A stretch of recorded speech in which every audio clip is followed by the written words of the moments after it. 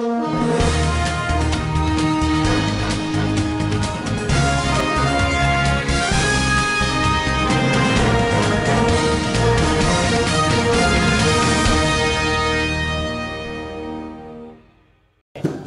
Wali Kota Sibolga Syarfi Hutauruk menyampaikan di usia ke-318, Kota Sibolga di bawah kepemimpinannya akan berusaha membenahi Kota Sibolga dengan meningkatkan perekonomian masyarakat dengan sejumlah pembangunan infrastruktur untuk menunjang tumbuhnya perekonomian sehat di Kota Sibolga.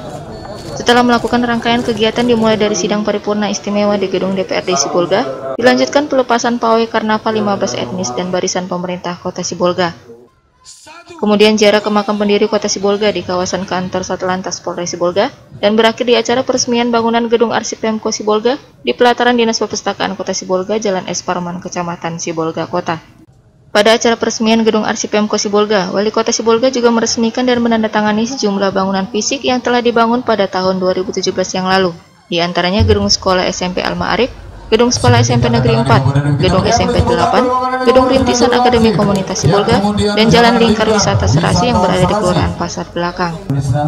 Wali Kota Sibolga Syarfi Utauruk menyampaikan di usia Sibolga ke-318, pemerintah baik sebelum dan saat dirinya menjabat yang telah berjalan selama 8 tahun, pembangunan akan terus ditingkatkan, baik pembangunan infrastruktur maupun peningkatan pelayanan kepada masyarakat terus dilakukan, terutama untuk mencapai visi misi terwujudnya masyarakat Sibolga yang maju sejahtera dan berdaya saing. Polga ke-318 ini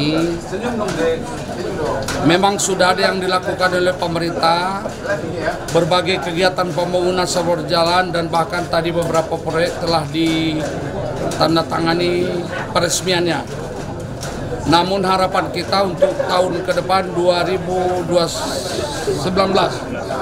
2020 pembenahan infrastruktur bisa maksimal rumah sakit itu minimal bisa 85% selesai dan eh, peningkatan ekonomi masyarakat melalui produk-produk unggulan di kerajinan rumah tangga itu bisa terserap dan masuk ke pasar modern.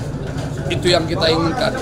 Sehingga kalau itu yang terjadi, peningkatan ekonomi masyarakat berkembang dan kemudian juga adalah kesejahteraan masyarakat bisa tercapai dengan baik. Yang kedua adalah sampai 2020 mudah-mudahan infrastruktur di bidang penanganan banjir bisa teratasi secara maksimal sehingga penderitaan masyarakat setiap hujan itu tidak ada lagi. Sekaligus juga menyelesaikan pemecah ombak untuk abrasi pantai baik itu pantai ujung Sibolga maupun di pasar belakang wis, wisata indah bisa terselesaikan dengan baik. Pada hari jadi Sibolga ke-318, pemerintah kota Sibolga mengangkat tema Sibolga menuju kota yang berdaya saing, diharapkan mampu melakukan berbagai upaya mempercepat pembangunan dunia usaha untuk meningkatkan kualitas perekonomian masyarakat kota Sibolga yang disertai dengan pembangunan infrastruktur yang memadai. Dari Sibolga, Putma Suryadi, N2S TV, memberitakan. Thank you.